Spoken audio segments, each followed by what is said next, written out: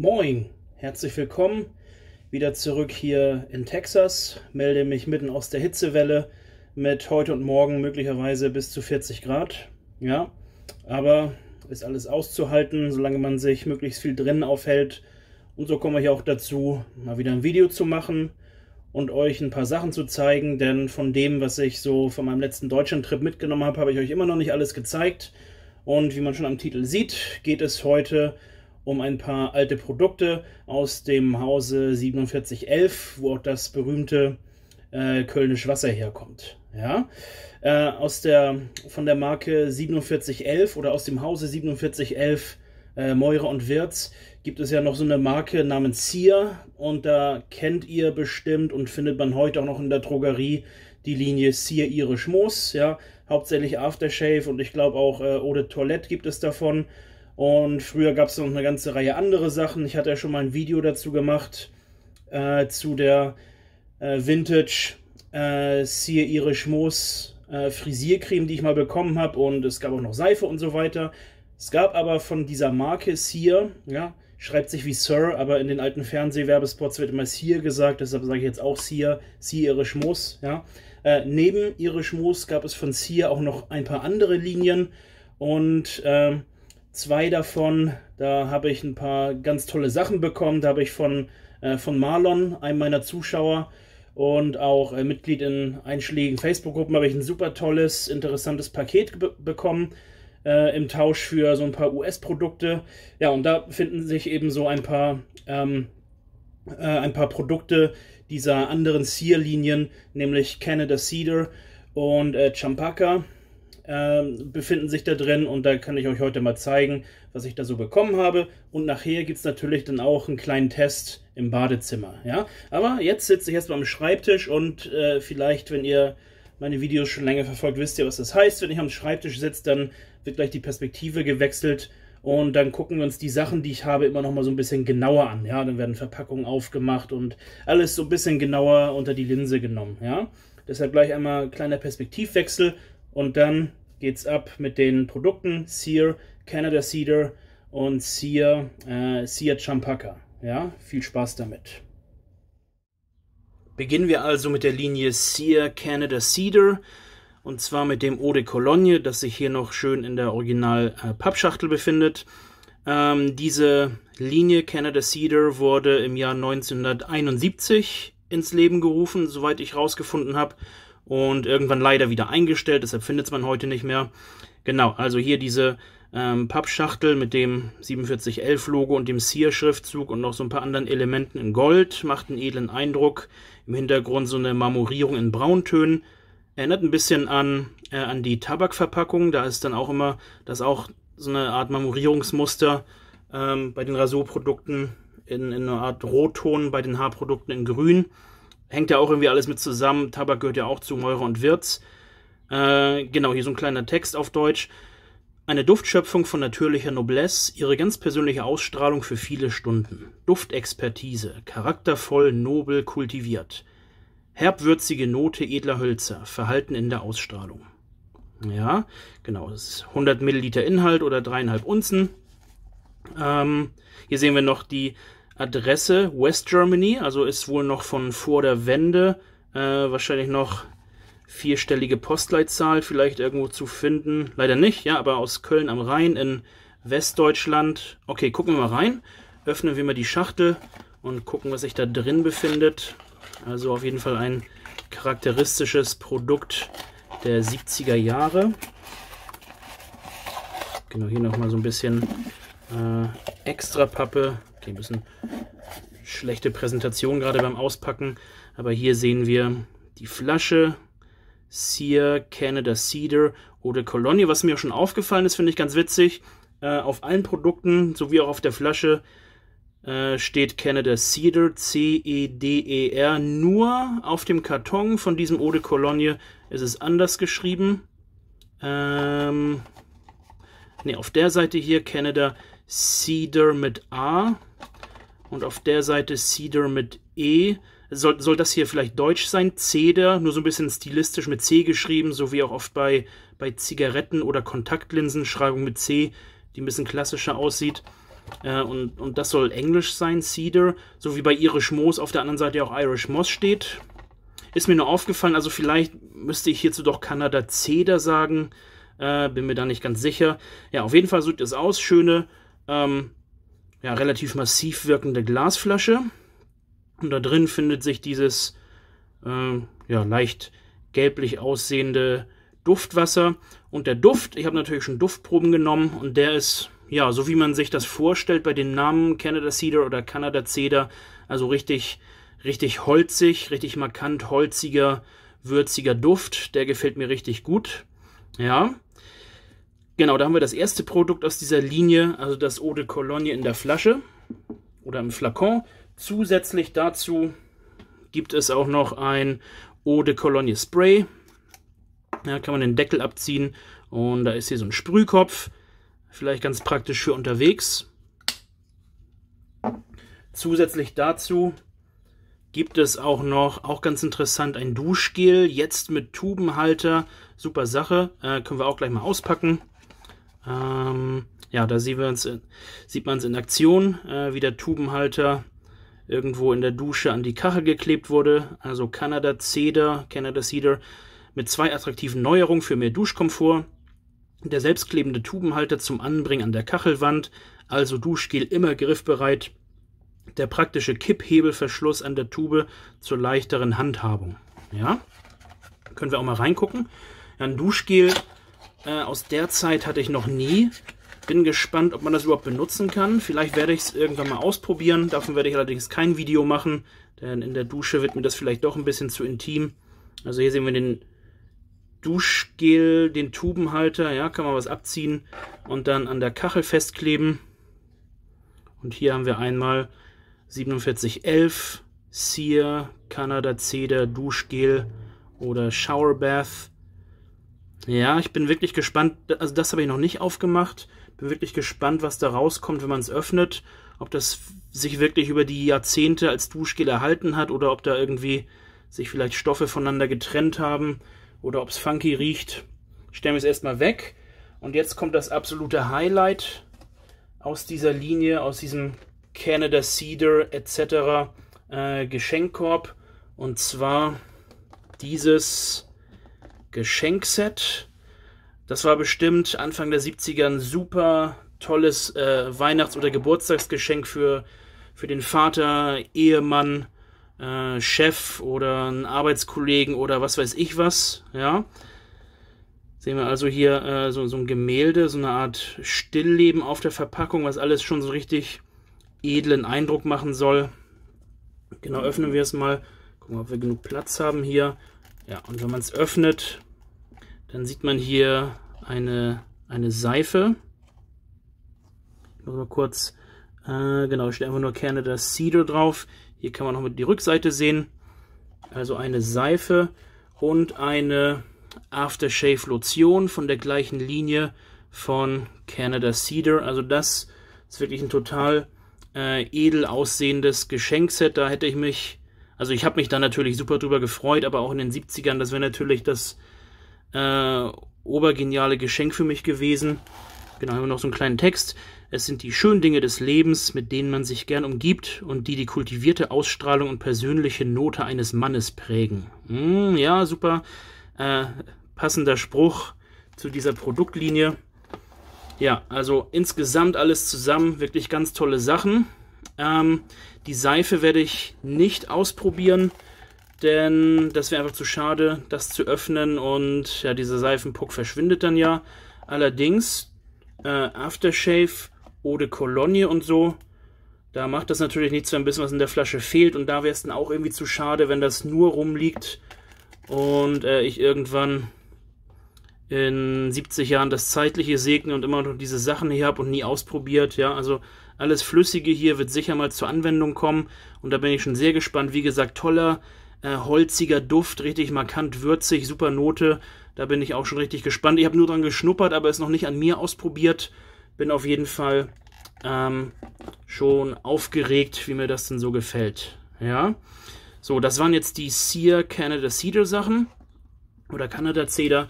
Ich habe aber auch noch was anderes bekommen, auch von Marlon äh, in dem gleichen Paket.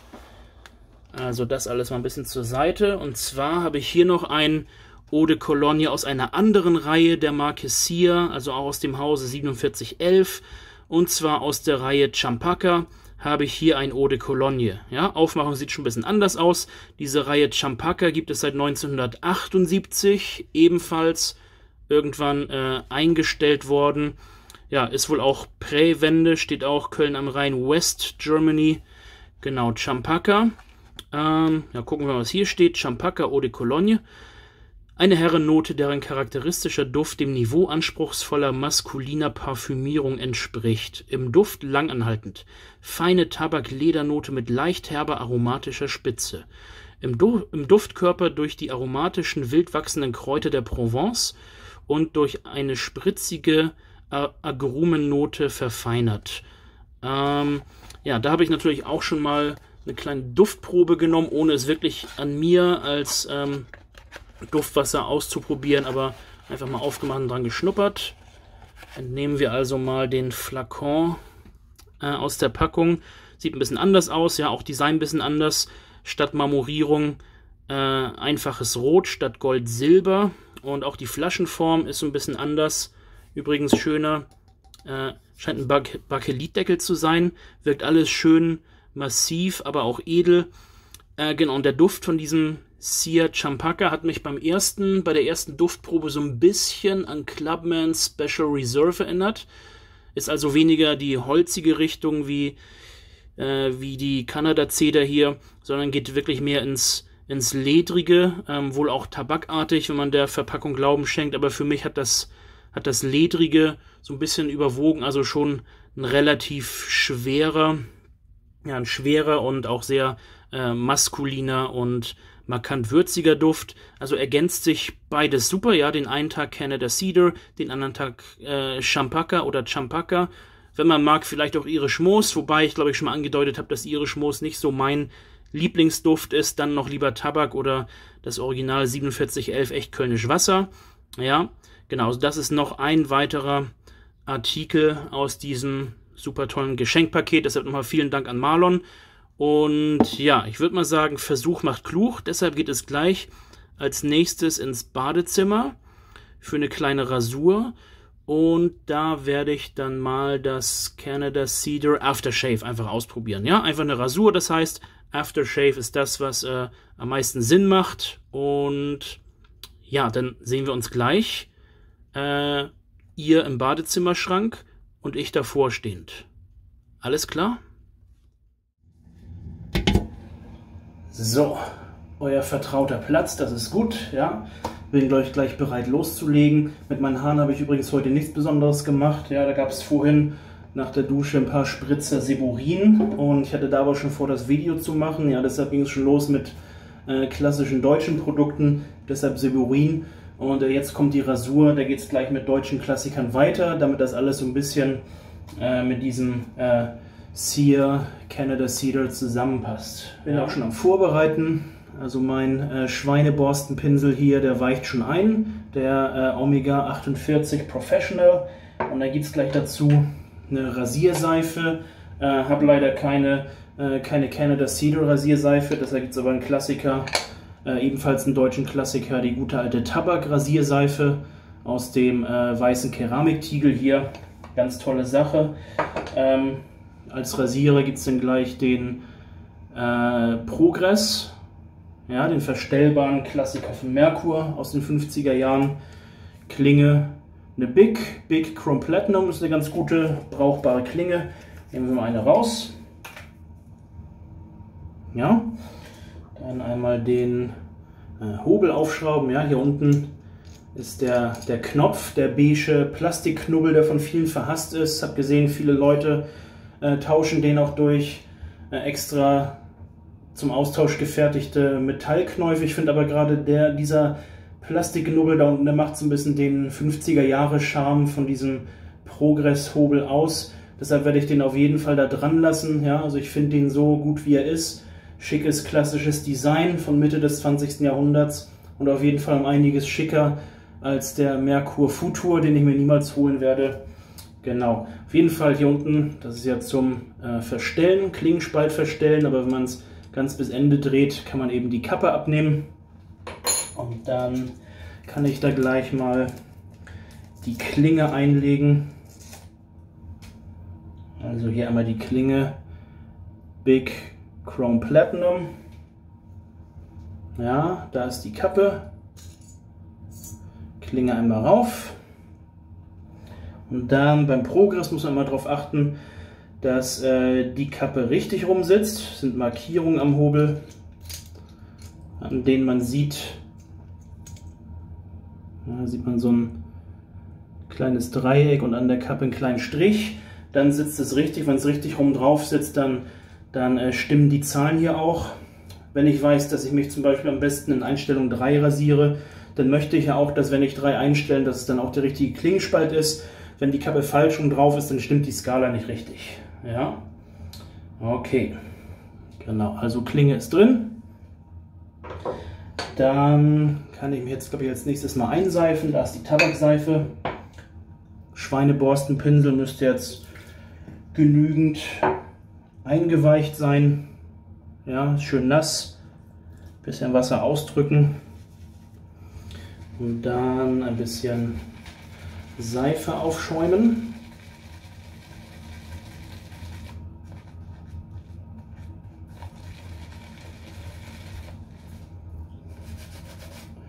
Da geht auf jeden Fall noch mehr Wasser, habe ich ein bisschen zu viel rausgedrückt. Ja, ist bei jeder Seife und bei jedem Pinsel immer ein bisschen anders, wie viel Wasser man braucht. Wenn man immer das gleiche nimmt, dann weiß man, man hat so ein Gefühl, wie viel man braucht. Aber Tabak habe ich lange nicht mehr genommen. Und den Omega habe ich auch lange nicht mehr genommen. Letzter zeigt eigentlich immer mein äh, Simpson T2 Synthetikpinsel.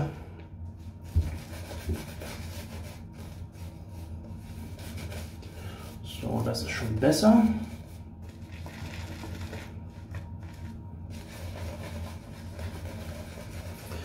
Ja, lange nicht mehr den Schweinepinsel hier genommen, ungewohntes Gefühl.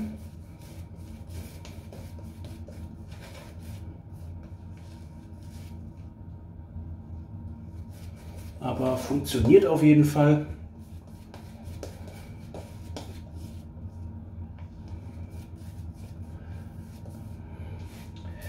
Und damit sollte ich mich auf jeden Fall gleich gut rasieren können. Wobei die Rasur an sich, da ist ja nichts Neues dabei. Das Einzige, was Neues ist dann gleich am Ende das, das Aftershave. Ja, da werden wir dann sehen, wie gut mir der Duft gefällt. Jetzt geht es auf jeden Fall los. Heißes Wasser und einmal die Einstellung. Ich glaube, so, so eine 2 oder 2,5 war immer ganz gut.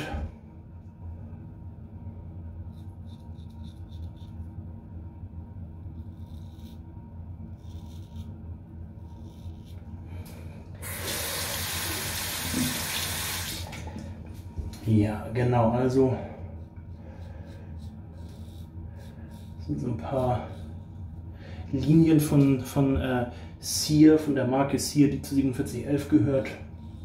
Habe schon dazu gesagt, dieses äh, Canada Cedar ist von Anfang der 70er Jahre, 1971. Champaka von Ende der 70er, genauer 78 wenn das stimmt, was ich gelesen habe, wurden beide immer eingestellt. Waren vielleicht irgendwann nicht mehr zeitgemäß, haben sich nicht verkauft. Wer weiß das schon, weiß leider nicht, wann die eingestellt wurden. Ja, die Sachen, die ich habe, scheinen ja von vor der Wende zu sein. Ist die Frage natürlich, wurde das vor der Wende schon eingestellt oder wie lange gab es das noch? Und warum wurden die Linien eingestellt und nicht irisch Moos? Ich finde, die Sachen riechen beide um Welten besser als irisch Moos. Also schade. Dass es das nicht mehr gibt, muss ich mir gut einteilen, das Zeug. Ich will es natürlich auch benutzen, ja, was Also nicht nur zum, zum Anschauen, weil ja, sonst merke ich irgendwann, irgendwann ist die Chance vertan, die Sachen zu benutzen und dann wäre es schade drum.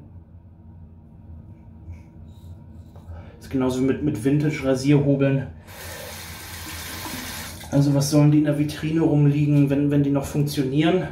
Ja, aber ich glaube, jeder, der sich Vintage, Rasierhobel und Messer und so holt, der, der benutzt die auch. Die Sachen funktionieren ja auch. Alles auch nach Jahrzehnten immer noch brauchbar.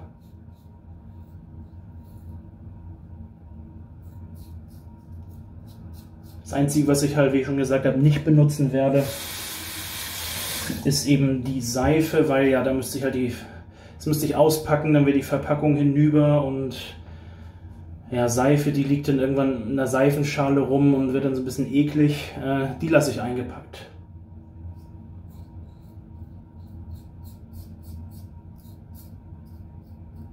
Aber so Duftwässer, ja, warum nicht? Und das Duschgel, da weiß ich noch nicht. Muss ich mal gucken. Macht ja auch nichts, wenn man was rausnimmt. Also da bleibt ja auch die, die Verpackung ähm, erhalten. Bin halt nur gespannt, äh, bei so, bei so älteren Aftershaves, äh, da, da weiß ich ja, dass die oft noch was taugen. ja. Und auch so ältere Frisiercreme hatte ich schon, das, das ging auch gut. Aber Duschgel wäre was Neues. Keine Ahnung, wie lange sich das hält. Werde ich dann sehen, ja. Ob das dann irgendwann zu einem ekligen Schmodder wird, der ranzig riecht. Keine Ahnung.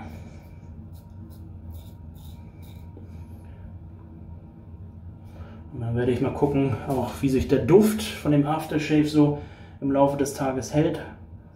Dann kann ich irgendwann die Tage das vielleicht nochmal mit dem Eau de Cologne oder Eau de Toilette vergleichen.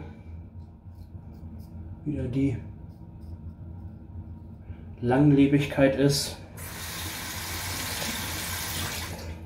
Besonders jetzt, wo man viel schwitzt, ja, bei den momentanen Temperaturen, wie ich schon gesagt habe, heute und morgen werden es vielleicht bis zu 40 Grad, also 38 hatten wir schon hier im Stadtgebiet.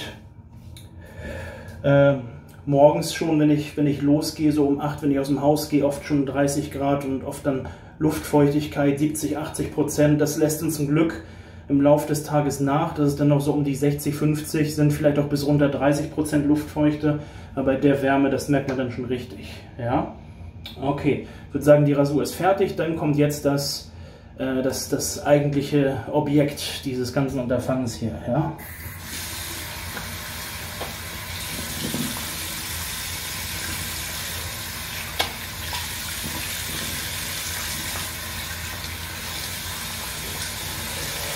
Genau, ja, und wegen dieser Temperaturen würde ich auch sagen, dass Texas als Reiseziel zu dieser Jahreszeit nicht unbedingt empfehlenswert ist. Ich würde immer sagen, empfehlenswert ist vielleicht so die Zeit zwischen November und März. Das sind dann humanere Temperaturen. Ja, und selbst wenn man mitten im Dezember oder Januar kommt, da gibt es sonnige Tage mit 25 Grad und mehr. Das ist dann noch auszuhalten. Einziges Problem ist, im Winter, wie ihr ja vielleicht schon in der Vergangenheit bei mir gesehen habt, dass es da manchmal doch unerwartete Wintereinbrüche gibt, wo dann die ganze Infrastruktur zusammenbricht. Ja, Straßen sind nicht geräumt, man kann nicht fahren, Supermärkte sind deswegen zu, Lieferketten unterbrochen, Stromausfall, kein fließend Wasser für Tage. So war es bei mir ja auch schon hier, ja. Okay, so, jetzt geht's los. Trommelwirbel. Gucken wir mal. Da ist ein etwas kleinerer Flakon als das Eau de, Eau de Cologne. Ähm, und äh, weil es ein Aftershave ist, benutzt man es wahrscheinlich auch öfter und mehr davon. Müsste eigentlich umgekehrt sein mit der Flakongröße. Egal. Werde ich sicher nicht jeden Tag benutzen, denn muss ich mir gut einteilen. Wer weiß, wann ich sowas jemals wiedersehe. Genau, so eine äh, Aussparung, damit nicht gleich alles rausplattert. Ja, so kommen sehr sparsame Spritzer raus. Vielleicht wussten die Hersteller schon, dass es irgendwann eingestellt wird und dann selten.